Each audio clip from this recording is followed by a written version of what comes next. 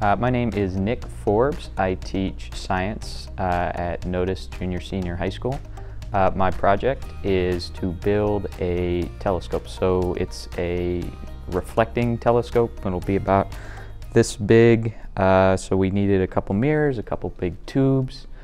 Um, and the goal is to do that and then have a night where we go out and look at the stars.